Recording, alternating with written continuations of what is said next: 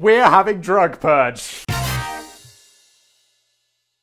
Hello everybody, welcome back to another brand new episode of Business Blaze. You might be thinking, oh Simon, is this one sponsored? You're holding your tablet. You're not holding a script. And I'm like, no, I forgot to print this one out. So we're doing off the tablet. So there's gonna be a little less slapping today, although maybe we'll just just a little. Uh, this is actually one of my trending videos where we have a different team, the crack team, Is it crack? Is that what you smoke? Who I said was basically the team from Casual Criminalist. Everyone was in the comments being like, Simon, is your like crack news team just the same guys who write Casual Criminalist and, and make uh, and edit Casual Criminalist? And I'm like, yeah, yeah, yeah. Pretty much. Welcome! I was reading the news yesterday and I heard that Washington legalized magic mushrooms. I mean, I'm for all for legalization, like 420 blaze all the way, guys. Magic mushroom seems pretty intense. I've never done magic mushrooms. I have. A friend of mine has done hallucinogenic drugs, So who do you hang out with? and uh, he found them very intense. It was me! Yeah, he. So that seems like quite an intense one. Is this Washington D.C. or Washington? By the way, guys, I know that the guy. What did George Washington? Did he did he found America? I'm not sure what George Washington did. He crossed a river called the Delaware. Maybe there's a famous painting. George Washington did something. I know he's important. He's on the one dollar bill or either the hundred. No, those are Benjamins. So that's Benjamin Franklin. Was he a pres? Look, I'm going to stop displaying my ignorance, but I know George Washington was important. But did we have to name two places after him? And did they have to be as far away as possible? It's like there's a three hour time difference there. It's like, oh, yeah, I've got a call with Washington. And it's like DC or state. Because if it's state, that's a lot more of a hassle because that's a nine hour time difference. Anyway, you'll see that uh, while this is, you know, supposed to be a shorter trending video, it's, uh, it's got very long. What happens here is Callum will write me a script. I will read the script and Jen will sprinkle in some fine vintage memes or not. No, no, no, no, no, no, no, no, no. We don't do that here. I don't know what Jen sprinkles in. We're still finding our way. Uh, so basically, what we're doing today: surprising stories of drug decriminalization and why they happened. It's hard to imagine, since most of us grew up with the "just say no" attitude drilled into us If you don't use drugs, you can just about be anything you want to be. throughout school. But in the not so distant past, the world was awash in legal drug use. In the 1920s, cocaine was just another tasty ingredient in your soda. Yeah, it was. And to the Victorians, a few hits of opium was just a nice way to unwind after a hard day of whipping orphans in coal mines. I mean, legit. I mean, it's like, yeah, yeah, yeah. Cal- Callum's making a joke about the past. But it's like, yeah, it was really sh- It's really sh- The past was the worst. You can actually buy a t shirt to that effect at purchasethemerch.co. Woo! Now, it seems as if things are taking a turn back towards a general acceptance of recreational drugs, but with the added caveat of social responsibility. Scientists and lawmakers are determined to get it right this time by focusing on the potential benefits of drugs and legalization, which may have been under our noses all along. Or they, in the past, when they were like, yeah, yeah, cocaine's legal, opium's legal, it was always like, yeah, yeah, yeah, cocaine for, uh, if you're feeling lethargic, it's great. They always came up with medical reasons. It wasn't just like, yeah, we love Coke. Get a line in, son. It was just, uh, it was always under the guise of some medical bullshit. The drug conversation is a messy, impassioned debate. Little wonder that it's birthed some entertaining news stories in recent years. Today, we'll be looking at three tales of decriminalization to see how various places are going about it. Doing it the right way, doing it the wrong way, and doing it the Irish way. I have no idea how the Irish did it. I'm gonna guess like Portugal. Isn't everything basically legal in Portugal? I heard it was like a drug haven. Like if you want heroin, you can get heroin. But I don't, I don't. You probably can't buy heroin from a store, right? Well, look, I'm not an expert. Let's jump in. Shrooms are now legal in Washington D.C.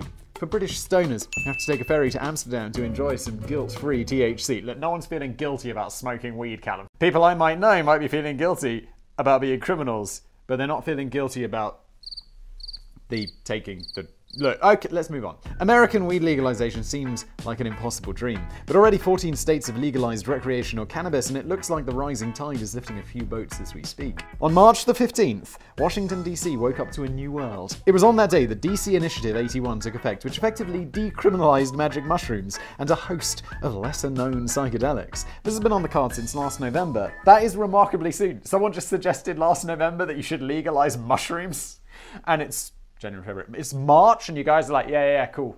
Okay. This has been on the cast since last November and somehow managed to run the gauntlet of a 30 day congressional review without being shot down. Speaking of Coke, oh! Ah! One handed. I mean, a similar attempt to legalize cannabis in the district was shot down in 2014 by Republican Representative Andy Harris. Allegedly, uh, despite a public vote showing 70% support. I bet Andy was real popular after that. However, his threats to do the same this time never materialized. At least now Harris and his fellow conservative lawmakers in the Capitol can finally chill out and find out what all the fuss is about for themselves. Expect some wild scenes at Congress in the coming months. Imagine in Congress, they're like, guys, we're considering the legalization of magic, magic mushrooms. Well, I think one thing is clear. If we're gonna do this, we have to try it. That'd be epic. Now, I should add here that there is a key difference between decriminalization and legalization. The former means reducing or repealing legal sanctions against users, while the latter means making it a-okay to use and sell the substance. Keep this in mind so you don't use this video as a legal defense when you're off your face and try to scale the Lincoln Memorial. I, I'm so half right now. I don't know what I'm doing. Ah, so it's decriminalized. It's not really le- This is the problem. Like, you know, I said I read that article. I absolutely just read the headline and was like, fascinating. I'd like to learn more, but I'd like to get paid for it by making a video. So you can see, like, it's just decriminalized. And I live in Prague in the Czech Republic. All the shit is decriminalized here. Like, you can carry whatever you want. You can have, like, a few grams. I don't know how much it is, but you can be carrying crack or meth or all of the really serious drugs that will f up your life. I mean, all drugs will. No, they won't. no, they won't. This isn't the 80s or 60s or whenever don't say don't drugs, something was a thing. It's you're fine. But you can carry pretty much everything as long as you're not going to sell it. No one cares. It's all decriminalized, which is great. Because all that's happened in DC is that they've taken away some of the punishments previously associated with shrooms, mescaline, and ayahuasca. I know ayahuasca's really intense. Didn't that guy, uh, was it Michael from Vsauce, who did ayahuasca in a video? it's like, dude. Um, these drugs are now at the bottom of the police priority list, making it highly unlikely that small time recreational users and growers will be punished for the little psycho-botanical hobby from now on. It isn't open season on shrooms just yet, but it is a step in this direction. I can't believe that there's that, that there would actually be shops like. It used to be legal in Amsterdam. You could buy magic mushrooms in a shop. They made it illegal because I think people died. Um, surely they're not going to have like head shops selling magic mushrooms. That's going to be wild. You might be wondering why bother decriminalizing psychedelic plants in the first place. Well, the initiative was spearheaded by Melissa Lavasani and her Plant Medicine Coalition. She claims to have first-hand experience of the legitimate therapeutical benefits of these plants. Yeah, she does, which helped her out of a severe bout of postnatal depression. She's quoted as saying, "I developed anxiety. I had panic attacks once a week. I was hearing voices. I was desperate for a solution. I would tried anything because it was life or death for me." Now, I'm not recommending you go out picking fungi in the woods the next time you're feeling down. Don't do that. Like. Don't do that unless you really know what you're doing because you're going to get poisoned. I've seen that movie Into the Wild where he eats the wrong thing and he dies in a bus in the middle of nowhere. It's like, dude, that is not how you want to go. And that was based on a real story. Don't go picking weird things in the woods and eating them. But if these strange little plants have the potential to fix some pretty severe psychological problems, then it's probably best we lay off the moralizing and let the scientists take a proper look. Of course, the scientists should be taking a look. Just like, I don't know, have a go. Why not? It's gotta be a good job, right? I, when I was a kid, like a kid, when I was like a young adult, I would. Am I still a young adult or am I middle aged? I'm 33. When does that happen? I used to test uh, experimental drugs for money. None of them were ever this interesting. The most interesting one I got to take was like a, a sedative of some kind. And I was in hospital for like two weeks taking this experimental sedative. And I was just like, it was, we, it, I was there with like 18 other people. We were super chilled out the whole time. It was great. It's like, what did you do today? I watched 17 seasons of The Simpsons. Yep. An Irish legal lapse initiated a 48 hour free for all. Oh no, that is amazing. From a potential medical miracle to a legal blunder for the ages. One week in March 2015, the city of Dublin braced itself for a sesh of epic proportions. And it does say sesh, not session, but ses. Sesh. S E S H. Sesh. Just as, is that, I feel like that's very British, but maybe it's American. It'd be like, yeah, come round to my house, we're gonna have a sesh, which can mean like, you know, drugs or drinking. Come round my house, we're gonna have a drinking sesh and then go out. Oh my god, I'm reminded of university so much right now. So many drinking sessions. I mean, what? I found out my parents watch Business Blaze. Very light drinking. No recreational drug use, of course. Uh, just as it did every single week prior. However, the clubs and pubs had reason to be especially prepared this time. That's because on Tuesday, the 10th of March, a loophole in the law threw open the floodgates by making a handful of Class A drugs legal for a 48 hour period. Oh my god, it's like the purge, but for drugs. For the next 48 hours, all drugs shall be legal. That'd be epic. Basically, the Irish Court of Appeal ruled that a certain passage of the country's 1977 Misuse of Drugs Act was unconstitutional, effectively scrubbing it from the law. It just happened that the passage contains clauses which outlawed the possession of MDMA, ketamine, magic mushrooms, and even crystal meth. That's incredible. Just people like smoking crystal meth on the streets. The government quickly realised that they didn't have any backup in place and drafted up some emergency legislation to plug the gap, but they couldn't get this fully passed until 12am on Tuesday. This meant that in the interim, Ireland was being transported back to 1991 to relive the acid rave glory days one more time. Wait, in 1991? Was all this legal? I don't think so. After the blunder was noticed, the Department of Health, somewhat counterintuitively, issued a statement advertising the impending ketamine fest, saying, All substances controlled by means of government orders made under Section 2, subsection 2 of the uh, cease to be controlled with immediate effect, and the possession ceases to be an offence. In other words, let the purge commence! I can't believe they actually did this. It is like the purge.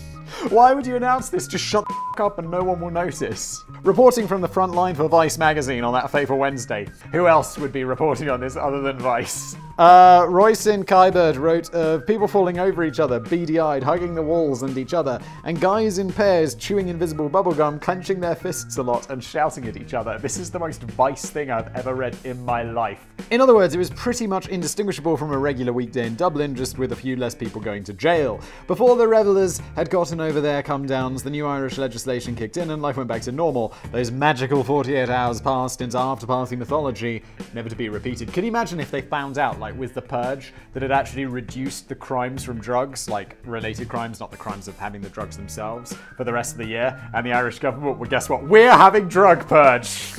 I'd like to see that. When I finally have a country, we'll do that. It'll be great. A Texan THC technicality kind of decriminalized weed. I feel like this is going to be a bit of a letdown from the last one, Callum, because that I I don't know what can top the absolute drug free for all in Ireland for 48 hours. Well, the news that the Irish like a bit of Class A's every now and again isn't exactly shocking. I believe Americans call those Schedule 1s. It's like, you know, the big boy drugs heroin, cocaine, fentanyl. There are some shocking corners of the world where the decriminalization of drugs is highly unexpected. Texas is surely one of them. The state is among the reddest in the entire USA, a famous fortress of conservative ideals. Although now that everyone is everyone from California, who's like super liberal and all that, is moving to Texas. I don't know why. Is it is it taxes or is it that they don't like the government? What?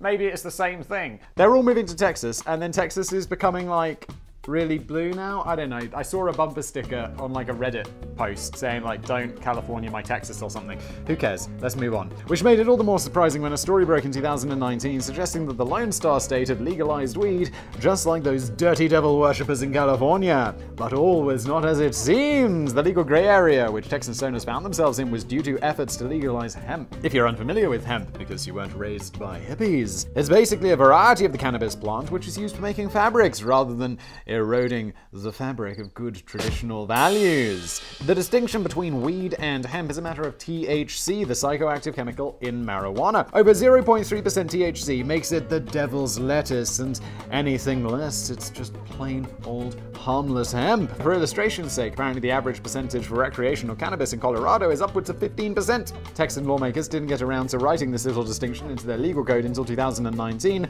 prior to which they just went with the all cannabis bad approach. When they did end up legalizing hemp, this meant the change in the definition of marijuana, which the police and prosecutors just weren't prepared to deal with. The testing of hemp available across the state wasn't sensitive enough to detect the fine details in these percentages of a batch of seized cannabis. They'd be like, well, I guess there's only one way one way we could see where this is gonna get people high. Break out the rolling papers. What's the super Texas name? I have no idea, like Bruce? That doesn't feel right. Chad?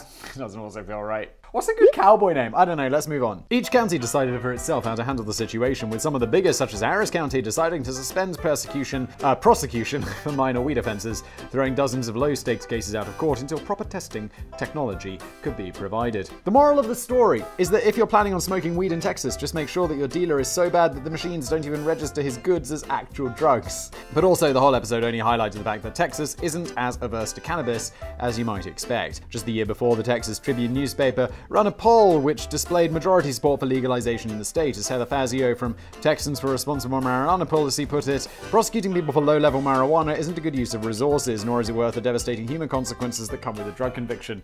I just feel like this is like one of those things of like, yeah, obviously, but we still have to point this out that sending people to prison for weed, which will ruin their life and job prospects and all of that, is just a terrible idea. Just stop it. Stop it! Even so, even though many of the politicians are still high on their tough on drugs rhetoric, the people themselves aren't so interested in running teenagers' li- in ruining teenagers' lives over just a little bit of weed. Wrap up. Ooh, we don't get these with Danny. Get excited. That wraps up our rapid fire overview of decriminalization victories and blunders of the last five years. It's clear that all you stoners in the West are living in a golden age, even though we're all well aware how drugs can absolutely devastate lives and communities. Yeah, but not weed. How many people have you met whose life, life was devastated by weed? If anything, people I've met who do a lot of weed, it's like, oh, well, you're just less successful, less motivated, but your life definitely hasn't been ruined by weed. You clearly love it. Like, I wish I loved weed like you did because my life is busy and stressful, whereas you just like playing Xbox all day. That sounds awesome! In another life, I would absolutely get super into weed and just be so demotivated and just get really good at I don't know, what's one of those games I've never played that everyone gets super into, like StarCraft? The culture is starting to wake up to the fact that we may have thrown the baby out with the bathwater. To review, psychedelics might offer some life saving treatments for mental illness.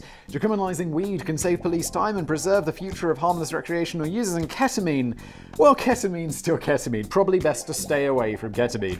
Never done ketamine. I know it's called Special K.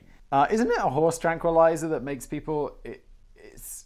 It, is it a hallucinogen? I don't even know. Look, I've got no interest in ketamine. We'll see soon enough whether this modern approach works, if and when President Biden follows through on his promise to decriminalize weed nationwide. Wow! Is he going to do that? That's epic. Meanwhile, the Brits will just have to make do with a tub of industrial glue and an empty crisp packet, as we've always done. Wait, we're just sniffing glue in the UK? Oh, that's depressing. This has been an episode of Business Blaze. I have been your boy with the blaze. Oh, I'm actually wearing a Beard Blaze t-shirt today. This isn't actually for sale. This isn't a piece of merch. This is uh, uh, I'm a walking advertisement for my beard oil brand, which I don't actually have in front of me. But I make beard oils, which you put in your beard and it makes it so soft and smooth and healthy. Beardblaze.com if you want to get your hands on some of that. And thank you for watching.